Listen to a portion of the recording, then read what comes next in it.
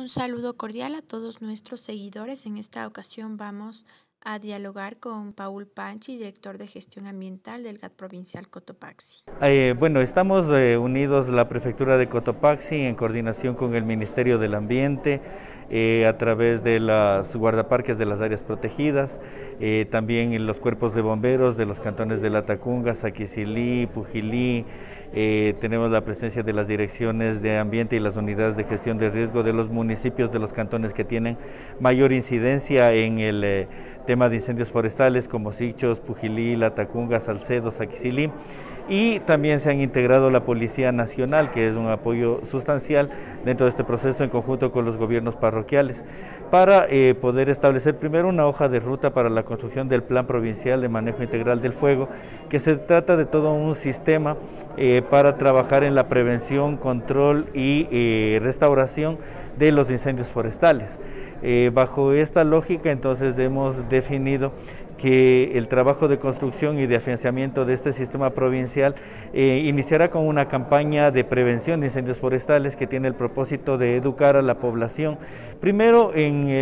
apreciar la riqueza natural, el patrimonio natural que tiene la provincia de Cotopaxi, sus especies forestales, animales que habitan especialmente en las áreas protegidas y que forman parte de nuestra riqueza, aprender a valorarlas para protegerlas y evitar este tipo de fenómenos naturales. Luego, obviamente educarles en cuáles son los factores con los cuales podemos afectar iniciando un incendio forestal, cómo hacer un manejo adecuado del fuego, las quemas controladas agrícolas especialmente, el eh, turismo responsable, etcétera, como parte del proceso de sensibilización. Lo que queremos al final es tener un sistema integrado que trabaje a través de una respuesta inmediata, temprana, que tengamos personal capacitado para eh, la respuesta oportuna la presentación de algún conato de incendio. Obviamente que también tengamos la oportunidad de generar un sistema de alerta temprana y que tengamos una comunidad que esté plenamente sensibilizada y decidida a aportar para poder combatir la presencia de incendios forestales. Por eso es que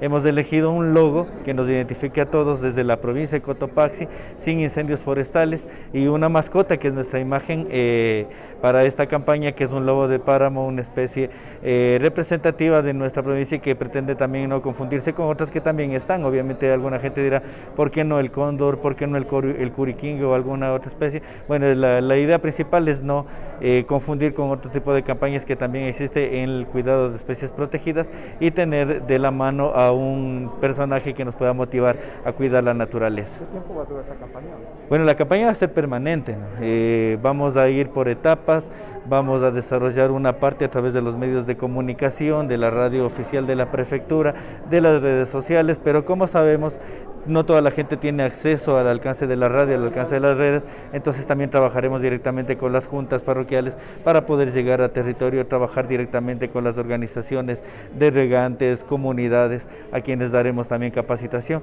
y en el mejor de los casos también eh, capacidades y herramientas con las cuales poder combatir incendios forestales. Bueno, revisamos el, nivel de incidencia en los últimos cinco años, realmente el del año 2020 fue un año muy eh, drástico en el tema de incendios forestales, registramos más de 36 incendios forestales, eh, especialmente eh, los más relevantes en la parroquia Belisario Quevedo, en la parroquia Mulaló, en la parroquia Pastocalle, en Mulalillo, en, que, en Sichos, en Quinticusig, eh, y además en Quinticusig hemos visto que es frecuente, o sea, tenemos un punto rojo, cada, en todos los años, en los últimos cinco años, se han presentado incendios forestales en la misma zona. Entonces tenemos definido ya un mapa de incidencia, también hemos determinado que las afectaciones son cuantiosas, estamos hablando estamos hablando de más de mil hectáreas de afectación en la, en la, en la provincia por año. El 2020 obviamente fue mucho más drástico. Entonces, el, eh, ah, y el otro dato es que nueve de cada diez incendios son provocados por acción atrópica, por las acciones de los seres humanos, porque también puede darse por un, por por un incidente, ¿no? algún problema eh, de clima, eh, rayos, rayos eléctricos desde la atmósfera, pero en este caso, digamos, hemos tenido la principal razón de la provocación de estos incendios en las actividades humanas y por tanto es necesario y urgente emprender esta campaña. Bueno, como le hemos señalado en la parte final de nuestro logo, todos somos responsables. Es importante que todos pongamos un granito de arena, aportemos eh, con algún proceso compartiendo en nuestras redes sociales para ayudar a difundir los mensajes que estaremos sacando eh, con periodicidad durante eh, la vigencia de esta campaña y aspiramos que la gente se apropie de este deseo de tener un Cotopaxi libre de incendios forestales.